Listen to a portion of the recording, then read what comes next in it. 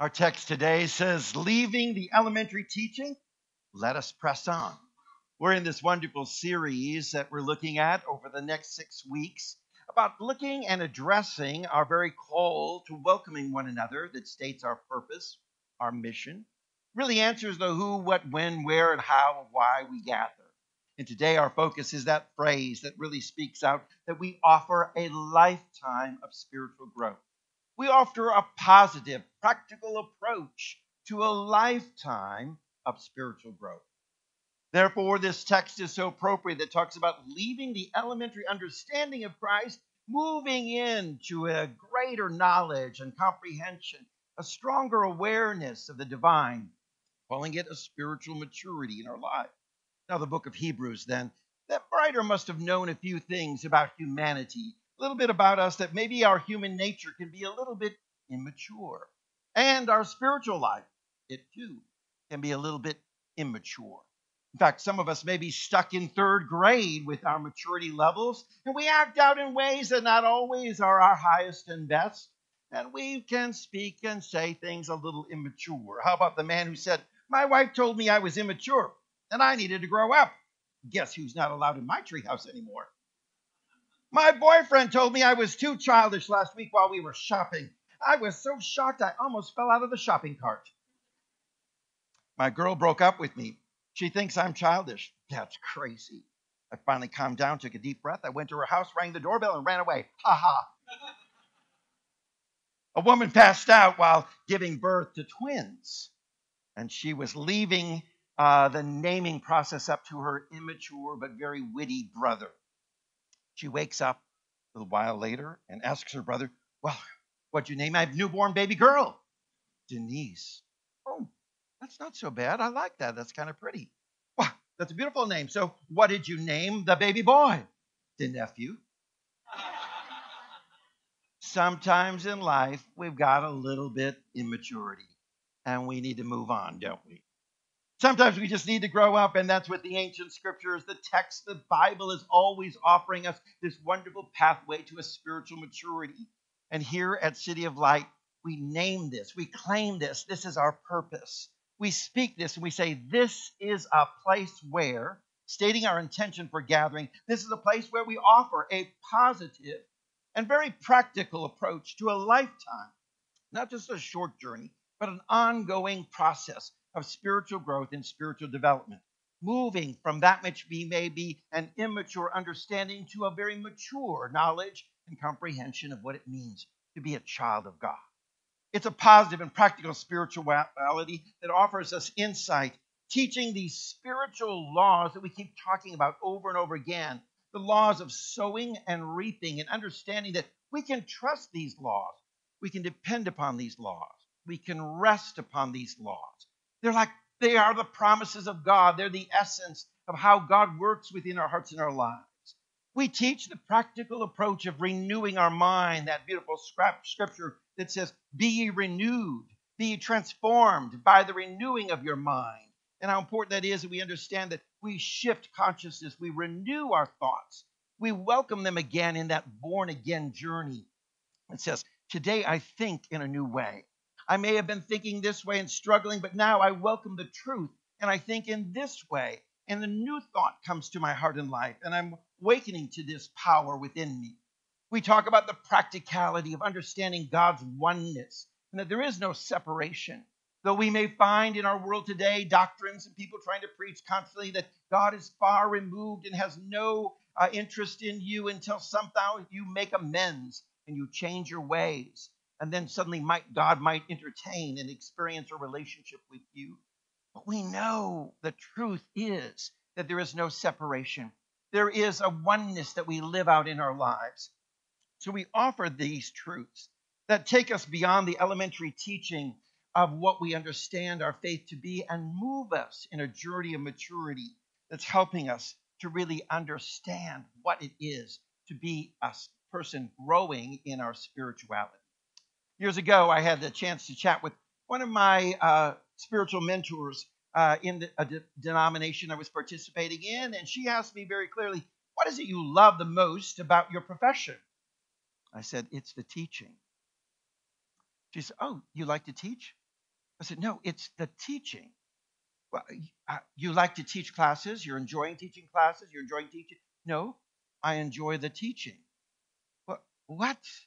Not comprehending and not understanding what we're talking about is the very teaching of Scripture, the very teaching of Jesus, the very teaching that's set before us, the very spiritual truth that are unfolded for our lives. What? There's a teaching? So many of us come to church and we think, well, it's all about worship. It's all about singing. It's all about, you know, choirs and great music. It's all about, well, that five minute little homily that some pastors would offer. Maybe not here. Uh, but, you know, we know that uh, we think that that's what it's all about. And then we realize, wait a minute, there's a teaching. There's something more to us in our spiritual life. We gather for a teaching that is there for us. And I said, this is what I love. This is what makes my spirituality so powerful and true. So many times in the journey of my life, as I faced obstacles, hardships, challenges, I am so grateful. I think it's the teaching that sustains me. The very words of Jesus, the very truth that's found within Scripture, the ancient texts that unfolded something that I can believe in, that's practical, and that really is so positive. It's working in my life over and over again so many people don't understand. It's the truth that sets you free, says the scripture. It's the truth that we embrace. It's the truth that is the teaching. The teaching is of the truth. So we understand this then, like, ah, that's our liberation. That's our freedom. That's our salvation. When we begin to understand the journey of this powerful teaching and how it unfolds in our life. And boy, don't we know this at City of Light.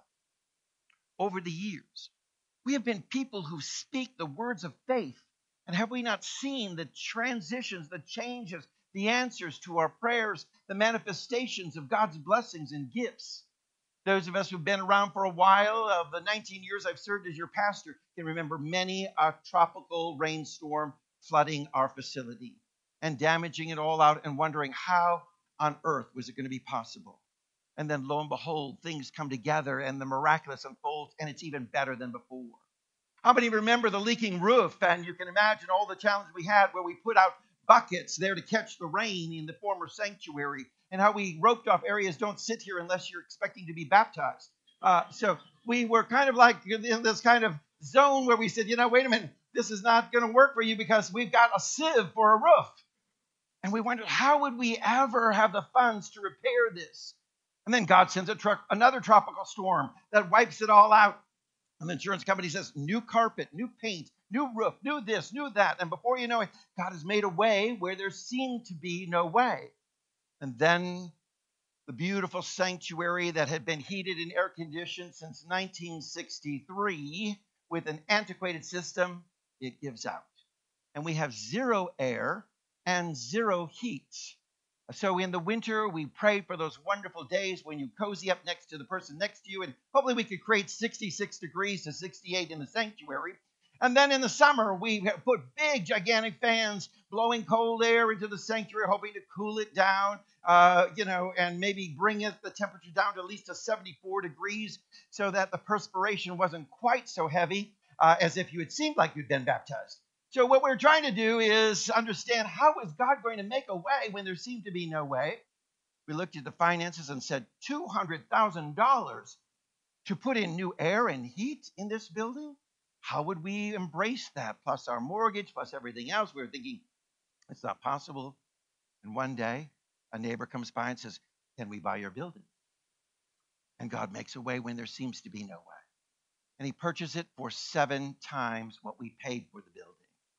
And suddenly, in that wonderful way of manifestation of the teaching of faith, of the belief of that which you sow, you shall reap, all at work within our lives, we find ourselves in, in lush cash of three million. And let me tell you this it was a delightful experience as the pastor to walk into the bank where suddenly we say, uh, and what's my deposit? Oh, three million. What did you say that again? I'm sorry, I didn't hear you. Three? Did, was it three? Did you say three? Oh, three million. And suddenly the banker is saying, oh, Reverend Graetz, have a seat. We have a personal banker for you. What, can I get you a drink? What can I offer you? How can I cater to you? And when you come in, please know that you know you have access to the private suite within the bank, you know, where you can instantly, all of a sudden, how beautiful it was then when we spent the money. And the banker says, You're who? You're Reverend what? You spent all the money? You've got nothing in the bank? Uh, you see, we got to laugh about the interesting relationship shifts, but we said God makes a way. We believe it. It's practical, it's positive, and we put it to work. And we've seen it here at firsthand. So we understand this teaching being so uplifting, so filled with hope and faith and the sense of knowing that we just live out differently. That when obstacles come, we've been able to face them, look at them face to face, head on. You know, Tammy Faye Bakker, remember her with the PTL Club and the big eyelashes, the heavy makeup, and the wonderful uh, voice that would always sing out in the PTL Club? Well, she would always advocate when something comes at you and it seems like a lion with a roar, I invite you to run to the roar. And that's truly our faith. It's positive, it's practical. That says when we see the challenge, we don't run from it, but we stand strong in faith, knowing, believing, trusting, and that we've evolved so through these wonderful years of experience to say, we stand on these promises and we can face the roar and run to it rather than run from it. Where this kind of spiritual growth is positive, and let me tell you this it's very difficult to grow in the world of negative spirituality, where there's all kinds of guilt, shame, self hatred. Many of us have experienced that kind of theologies in our growing up journeys with previous spiritual traditions, constantly imparting, you know, you're guilty, you're bad, you're a sinner, you uh, should be ashamed of yourself. You have to deal with this uh, burden of guilt and shame upon your life to the realms of many times feeling so a level of self hatred so strong that we feel like, well, how can we continue with God? Very difficult to grow in an environment of negative spirituality. But we find churches preaching, we find spiritual communities, we find traditions that are echoing these voices of negativity. And you wonder why the Hebrews, the writer of Hebrews, is speaking to churches and saying, it's time to grow up. It's time to leave the elementary and press on towards the spiritual maturity. To move on in ways where we have come to a place where we've experienced something that's actually practical for our lives. Because if you don't have a spirituality that's practical, how do you expect to work it? You know, you're all thinking about how do I work this? It just doesn't seem very common sense oriented. It's all mystical. It's all just accepted by faith. Don't really break it down. Don't try to understand it. Just accept it for what it is and, and enjoy the mystery of it all. And you're wondering, but how does it work? How is it that uh, when I speak affirmatively, suddenly I understand where before people were saying just just beg and plead with God, and you know, you throw enough stuff out there, sooner or something's going to hit and something will stick you know, and we just kind of pray that way, like, oh God, maybe this or God that, and I beg and beg. But we learn a positive, practical approach in prayer that says, This I believe, this I affirm, this I know to be my truth. We find the answer in the words of our prayer as we pray that way, because we say, and so it is. That's amen. Amen is, and so it is. Sometimes we forget what amen means. We think it's like uh, it's the end, roll the credits, uh, like the end of the movie. Uh, we add the amen to the end of a sermon, end of a uh, end of a prayer, as if it's like, okay, that's done. Let's wrap it up and go home. But it's really, and so it is, meaning is finished. Yes, it is accomplished. It's done for us. And how beautiful it is that we understand this practical kind of faith so positive that it allows us to really grow for this spiritual life that we're living on this earth is here about fulfilling our purpose. Our purpose. What do you think you came here to do? What do you think your soul came here to do? You know, you came here to experience God in the physical context. That's what you came here to do. Now, I have two kids, and sometimes on a summer vacation, we'd head up to the beach. We'd get to the beach, and the kids would say, Oh, wait, what are we doing here at the beach? I mean, there's no video games, there's no TV, there's no cartoons, there's no. What are we doing here at the beach? I said, You came to the beach. This is what we came here to do. Enjoy the water, enjoy the beach. Oh, that's what we came here to do. That's right. In our spiritual life, what you come here to do? The reason you're here, your soul is here in this moment. is to experience the divine. And there's no other reason for you to be here other than that. So let's get about the business of experiencing, of doing what we came here to do. And that is to grow, to mature spiritually, to discover fully who we are, to experience this self realization of who I am as the divine child of God. Understanding that and what that means for us and how it shifts and changes our life. This is what we came to do. So let's get about the business of doing just that. And that begins with a time of awakening, with a spiritual alarm going off within our lives that says, wait a minute, I need to be alert. I need to be awakened. I need to be ever attentive to all these wonderful things in our life, of the things that God has for us. We really need to learn to pay more attention. Say that with me pay more attention. That's right. You know, we've got to be these people who are really attentive. You know, Robert says I never pay attention to him. At least that's what I think he said. And so it is in our spiritual lives. God is speaking to us. Are you paying attention? Or, well, I don't know. I think God spoke to me. I don't know. I don't know if I'm really alert, if I'm really awake, if I'm really attentive to these things. Because this is our journey here on this earth. It's to expand our understanding, expand our knowing, expand our experience in the divine. We come to this wonderful place where I've had this wonderful journey where we sing that old hymn I come to the garden alone, and when the dew is still on the roses, we sing that hymn, and he walks with me and he talks with me. You all know that old traditional hymn. That's the very spirit of the Spirit walking with us, talking with us, experiencing. That's why we're here. This is a place where positive, practical spirituality is offered for you, that you may experience the divine and it be real and genuine within your heart and your life. That you may come to the place where you're fully conscious where your soul and your mind are coming together, your thoughts and your purpose of being here are coming together in sense of oneness, and suddenly you're feeling like I'm fully conscious, fully awakened, fully aware. I am actually paying attention to my spiritual life and really offering direction to it. I'm attentive to all the things that are unfolding for me in the many ways God is at work within my heart and life. And here's now how we become fully conscious. This is what we're doing. This is what we offer for you in this experience here. In life, we know that there are various different stages we may grow through and go through. We have a child stage, right? Some of us can remember that child stage where we were a child and somewhat childish, and some of us may still be in that stage, no matter what age we may be. It's that stage of help me, help me, I'm dependent, I need something, I need guidance, help me, help me.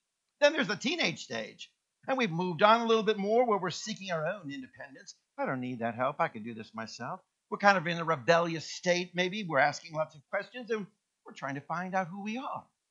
Some of us may still be in that teenage stage in our life, no matter where we are in our age.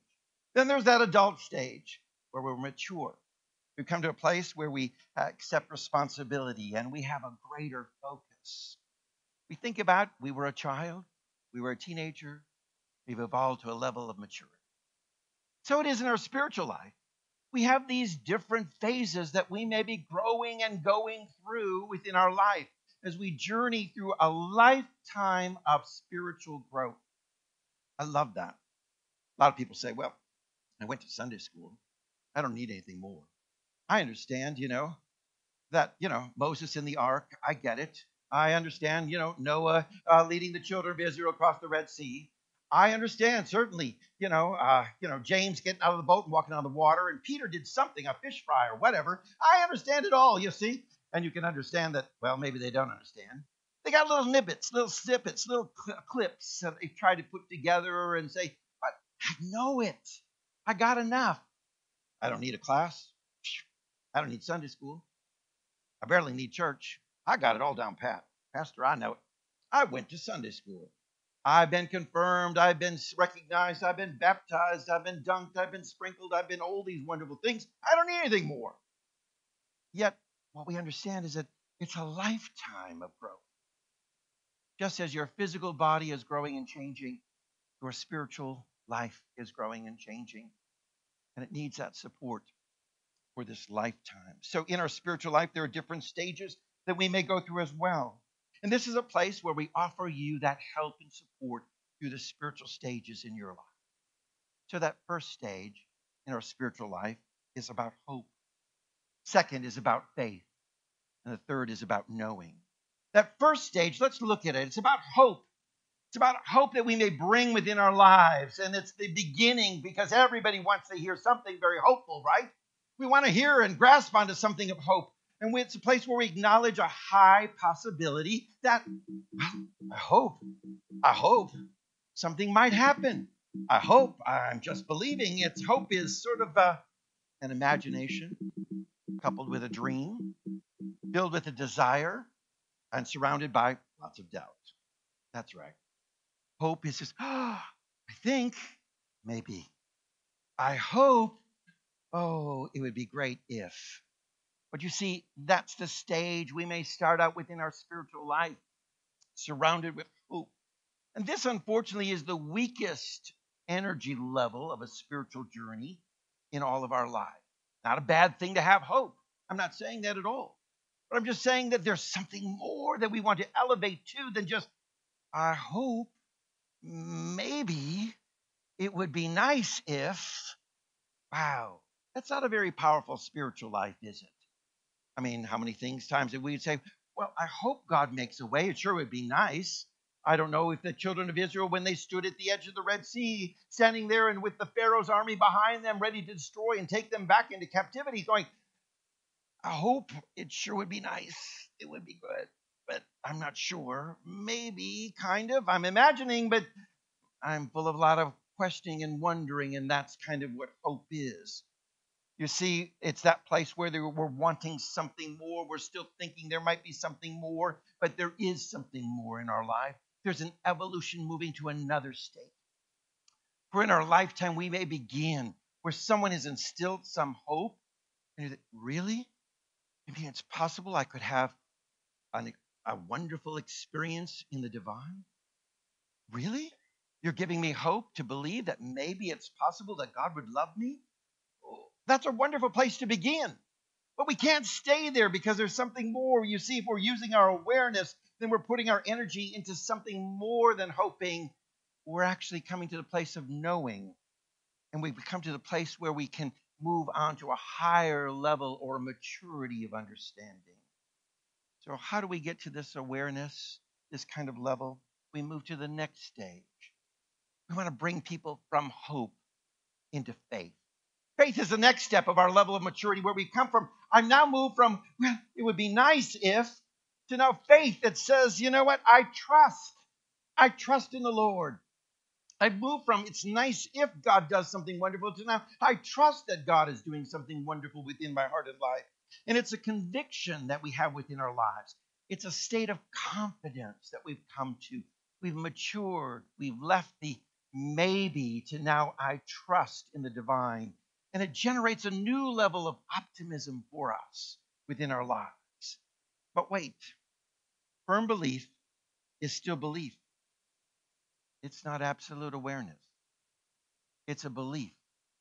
I have faith and I believe and I trust, but there's something more for our lives because believing is one thing, but knowing is another thing. Big difference. We start out with hope that says, maybe, maybe, I kind of would like to. This would be wonderful. To faith, I'm trusting and I'm trusting, I'm trusting, and, I, and I'm having faith to step out. But then there's knowing. Wow, we've matured to a new level of comprehension and awareness, a new understanding, a new level of paying attention.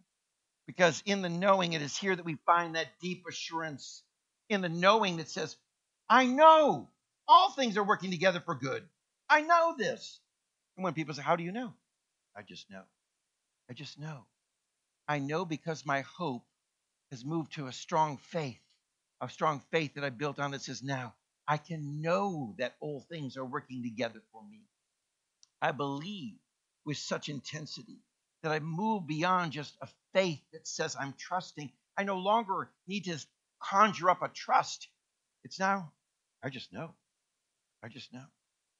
You know, there are those people who, when they jump out of the airplane with a parachute, need to truly have hope it's going to open, don't they? But that's not enough because you don't want to just go, I hope maybe it's going to open. You want to have faith. I trust it's going to open. But wait a minute, really? I am trusting. I have faith to believe it's going to open. But how about I know it's going to open? That's the person who jumps out of the plane with a parachute and says, I know it's opening. I can do it because there's such a peace. If you're just trusting and saying, I'm hoping and I'm trusting, it, this cord's going to pull, it's going to work, it's going to work, it's going to work. I'm trusting, I'm, I'm trying to conjure up this faith and believing, but ah, when you know, you know. And there's a perfect peace that comes to your life. There's a calm, an ability to step out, take risks, to believe in new ways, and to just walk in this positive feeling that you know it's all working out. Everything is good. It's all good. It's all good. Can we say that together? It's all good. Wait a minute. I think you need to be more familiar with that. Let's say it again. It's all good. Now, do you know it's all good? If you know, then say it again. It's all good. How about I know it's all good? Suddenly, woo, the maturity level is just going up. That meter, woo, childhood, teenage, we've gone to senior citizens here. We are now moved to a new level that says, I know. And I'm at this wonderful knowing stage because you know what's so beautiful about knowing? Knowing is love. Let me tell you this because when you love, you really know. And the understanding or the explanation of true knowing is a true sense of love. You know? Because when you are in love and you're truly in love and you're not in lust, uh, you're not in infatuation, but when you're in love, you know. It's that wonderful place that says, I'm not hoping this person will love me. I'm not believing or trusting. I'm simply knowing how beautiful it is. Robert and I have been together 19 years, and I can wake up in the morning. It's not, I hope you love me. It's not, I'm trusting you love me. It's, I know you love me. What a comfort that is. What a place to be in a relationship that is. And so it is in our divine relationship with God when we come to the place that says, I simply love, and my love is grounded in a knowing. And my knowing is so grounded in loving. Scripture says faith, hope, and love are important, but the greatest of these is love. The greatest of these, of all these things, it's great to have hope, it's great to have faith, but the greatest thing arising to the level of saying, I have such a love that says, I know, I know that when I face a challenge, an obstacle, when I'm feeling that I'm in need of divine intervention, when I'm feeling like I want somehow to create and manifest something powerful within my life, I just simply say, I know, I know. And so it is, we say, in such a powerful way. Now we look back in life, well, the elementary student hopes. The teenager stage may be filled with faith, but that mature adult comes to the understanding of knowing. So I ask you today, where are you? Where are you in your lifetime of spiritual growth? Wherever you are, we offer that lifetime of spiritual growth assistance to help you on that journey, and that's our calling, that's our purpose. That's why, as a pastor, I'm praying for you every day. That's right, you're on my prayer list. I name your names, I call them out. I speak for your highest and best. I pray, claiming that good things are unfolding for you in health and finances and blessings of all levels love, peace, joy, forgiveness, grace. All these wonderful things are there that I want to do the best I can as your shepherd to empower you. But it's not just that prayer, there's tangible ways where I'm offering classes. Reverend John Carn is offering classes. We're working together to develop these things for your spiritual growth because we don't want to leave you in an immature place. We don't want to leave you just at hope. although hope is wonderful. We don't even want to leave you just at faith. We want to evolve you and bring you all the way to the level of saying, I know. That's a place to be. I know. And that's what we're committed to. So when we say this is a place where, there's a comfort there that should come to your life every Sunday when we read that on the screen. This is a place where we offer a positive and practical approach to a lifetime, ongoing, on never ending journey of growth and development in your spiritual life. It never stops. Isn't that wonderful? The great joy is it never stops. It is ongoing. It's ongoing in your journey of unfolding. The flower is never blooming to a place where it stops and the rose is said that now it's a point of dying out. It's a spiritual life that is ever blooming, getting more and more beautiful in the journey of your lifetime. And that's the exciting news that you can leave the elementary teaching that the ancient writer of the book of Hebrews was describing, and you can mature. You can press on towards maturity, for this is our purpose. We offer this positive, practical teaching that takes you beyond hope, that moves you beyond faith, that takes you to this wonderful place of knowing. And so it is. Amen.